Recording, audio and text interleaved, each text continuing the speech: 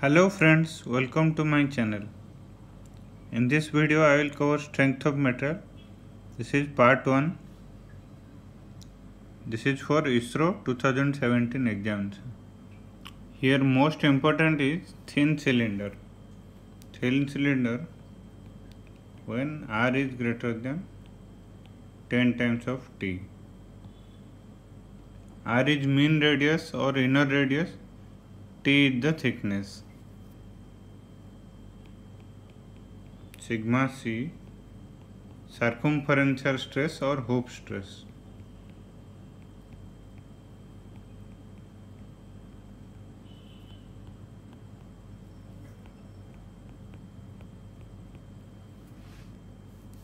sigma C value is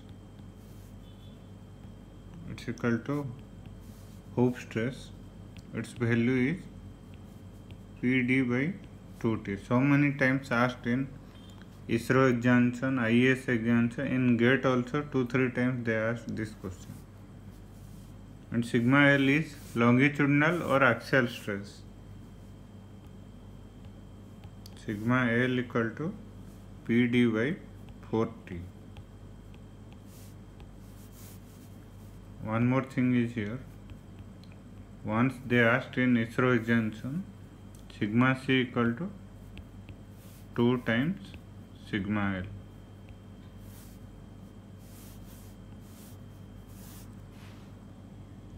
or we can write longitudinal stress is half of the circumferential stress.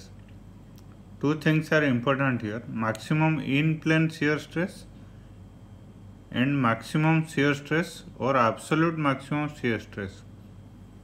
The key words you have to check, in-plane shear and maximum shear or absolute maximum shear. Maximum in plane shear stress is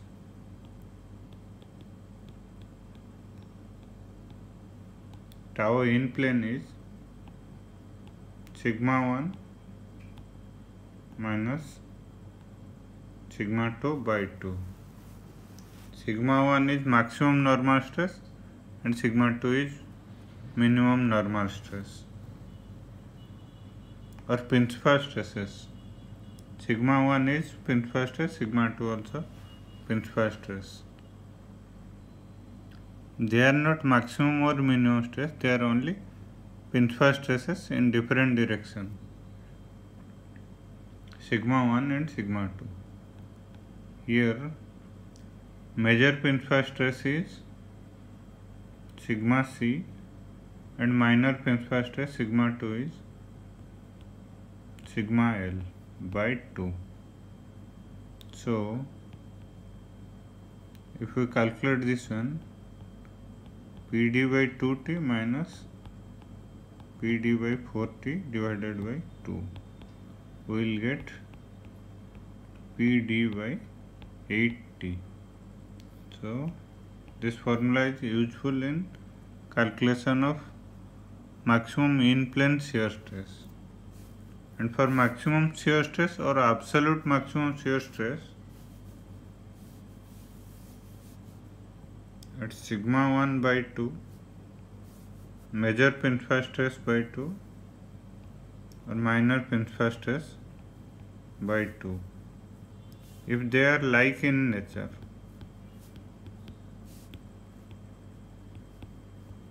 if they are unlike in nature then sigma 1 minus sigma 2 by 2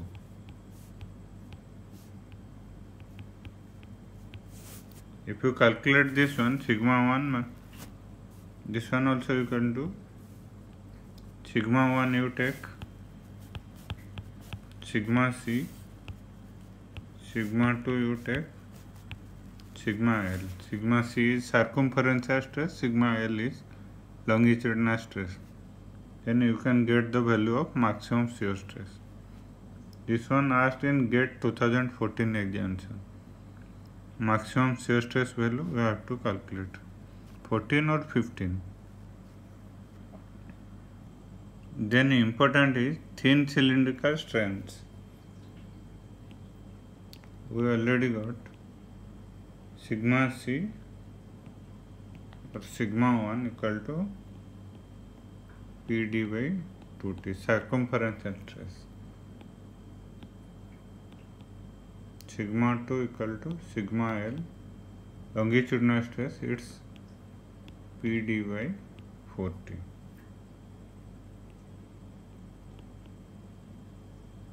This is circumference strain then circumferential strain, longitudinal strain, then change in diameter, change in length and change in volume.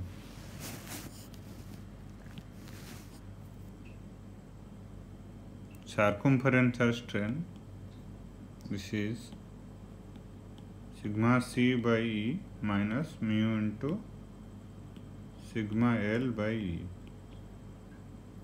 Directly I am giving the formula I am not explaining how it is come how it came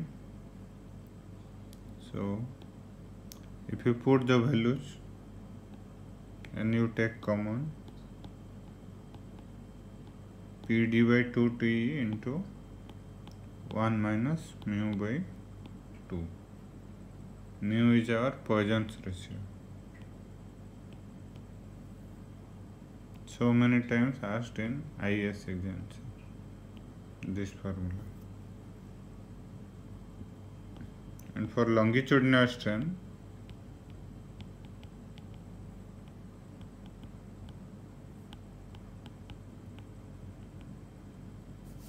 just remember the formulas sigma L by E minus mu into sigma C by E if we put the values sigma L and sigma C we will get P d by 2 T E all into 1 by 2 minus mu so this is also important for change in diameter circumference strain is responsible और circumference है stress is responsible delta D by D two circumference है strain it's value already we got P D by two T one minus mu by two and for change in length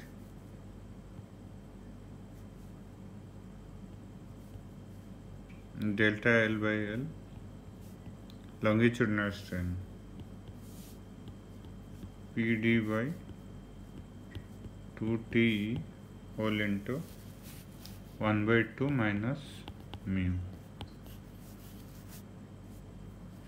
Both are important for change in diameter and change in length.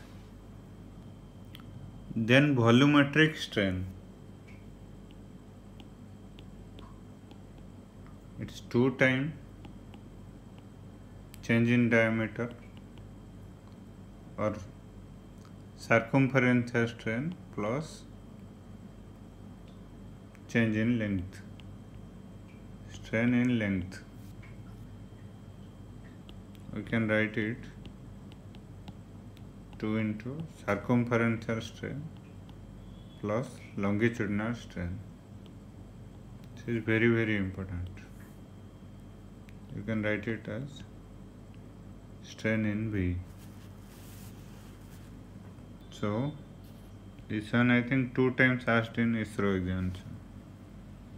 And for other examination also this is very very important. Volumetric strain equal to two times circumferential strain plus longitudinal strain. Next is thin spherical cells. Here only circumferential stress will act, no axial stress or longitudinal stress. Sigma C value is PD by 40. But in case of thin cylinder, sigma C value is PD by 2T. Then maximum shear stress, maximum shear stress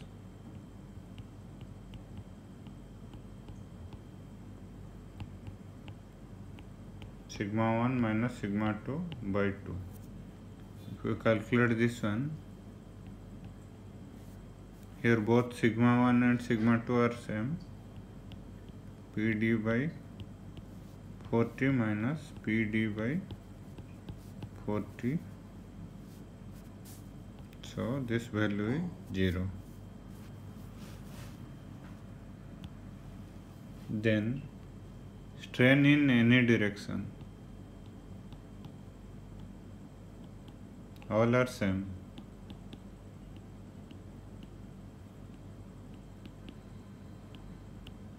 so strain in any direction its value sigma c by e minus mu into sigma c by e if we put the values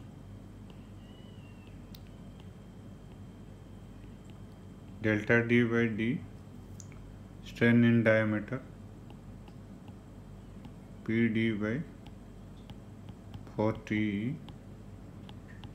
1 minus mu which is very very important and for volumetric strain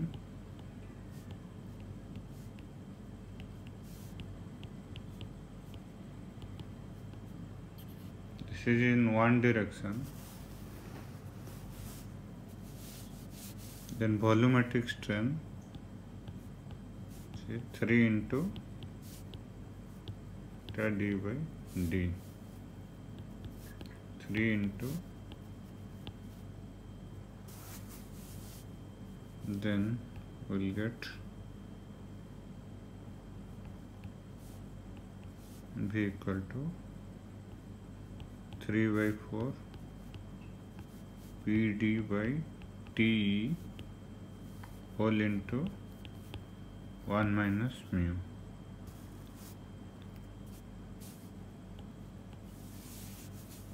This is also important. This is also important.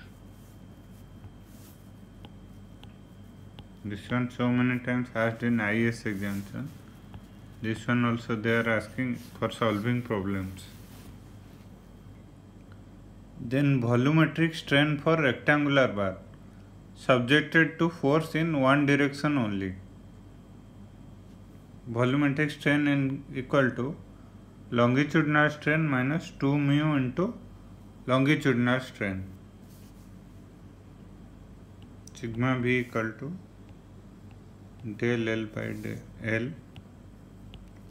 one minus two mu subjected to force in one direction. Then volumetric strain of rectangular bar subjected to force in three directions. Volumetric strain equal to strain in x axis, strain in y axis plus strain in z axis.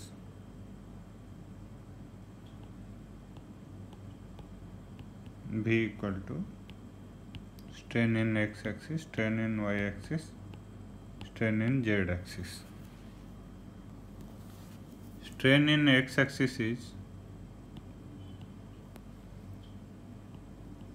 1 by E into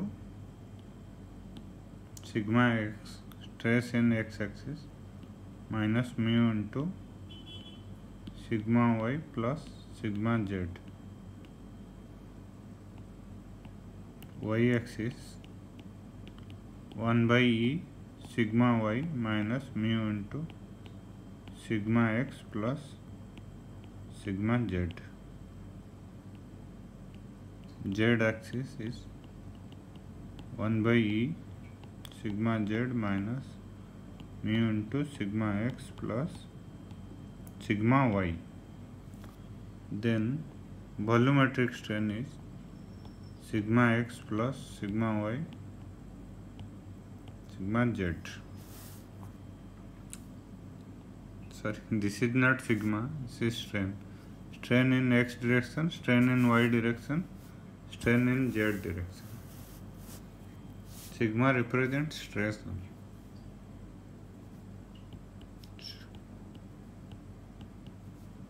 it's 1 by e sigma X plus sigma Y plus sigma Z minus two mu into sigma X sigma Y sigma Z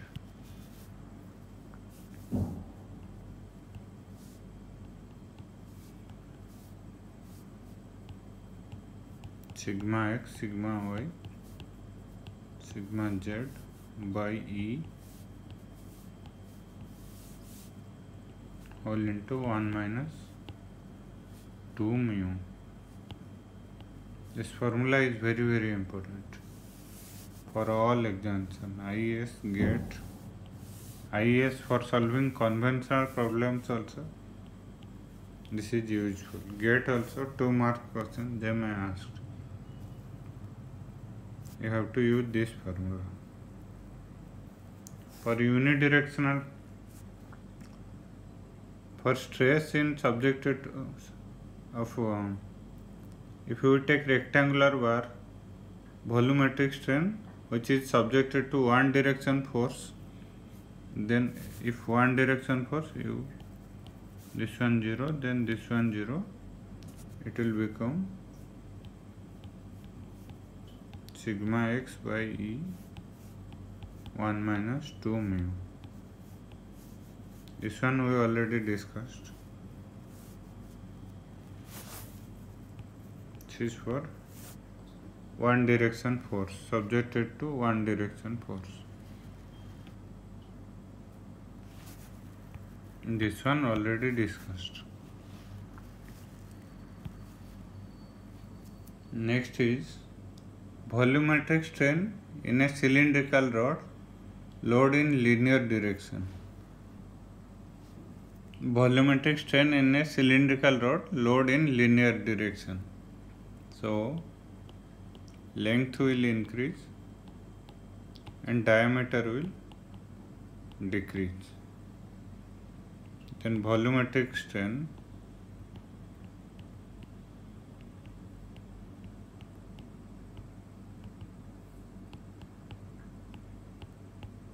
be equal to del L by L because it's increasing minus 2 into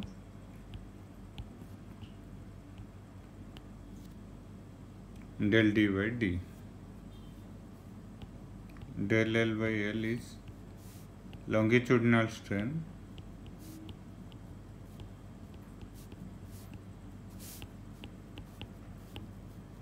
and delta d by d is strain of diameter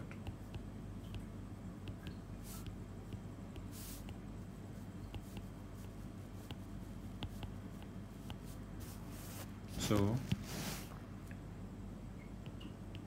this is important volumetric strain equal to longitudinal strain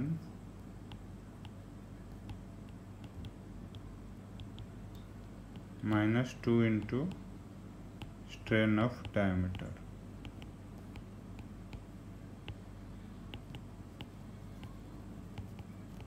this is very very important directly they will ask in theory question four options they will give volumetric strain in a cylindrical rod when load in linear direction.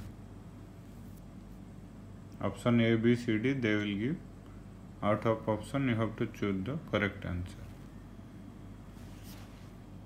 Then thermal stress.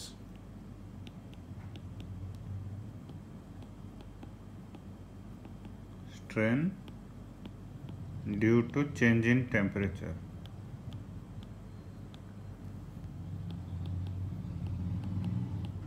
change in temperature this is equal to alpha into change in temperature delta T or thermal strain we can write del L by L alpha delta T or change in length is alpha delta T into original length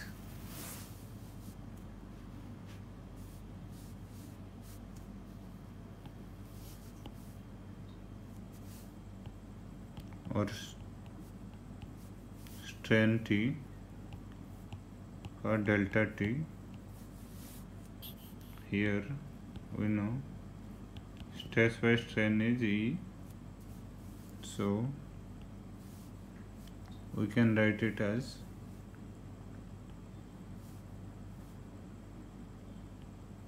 thermal stress by E equal to alpha into delta T or thermal stress directly we can write alpha delta T E.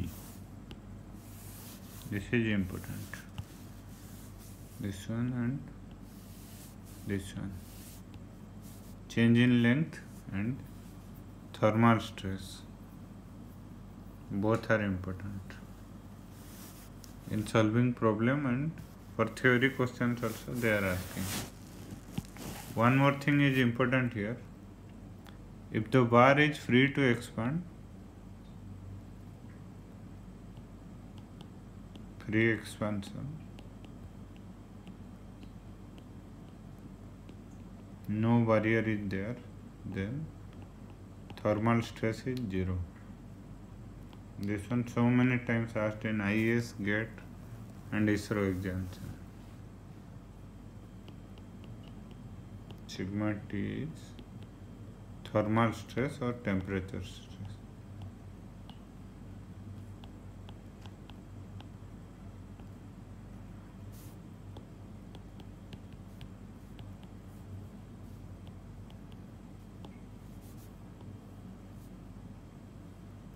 T or delta T, whatever you can take. Change in temperature. Thank you friends. Thank you for watching my video. Thank you.